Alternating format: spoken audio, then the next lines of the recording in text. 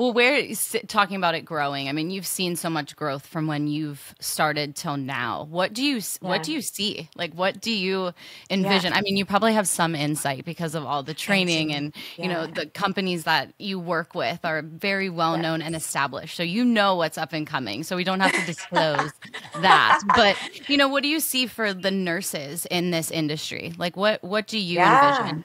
I see so many great opportunities for nurses where they're heard, where they're compensated appropriately, valued, and also just creating better results for patients more natural results the, the field mm-hmm. itself just getting improving in that way and i see the entryway into aesthetics changing because it is becoming more popular. There is a higher demand. There's a higher number of patients. So we almost need to like keep up with this higher demand and this growth. So there will be faster ways to get into aesthetics.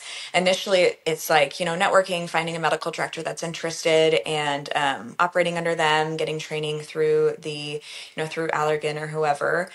Uh, but now I feel like there there will be universities and things where you know nurses can go get training quicker, and there are certifications now, but that doesn't automatically give you the experience really yeah. or give you a position. You know, so I see that changing because there's such a high demand.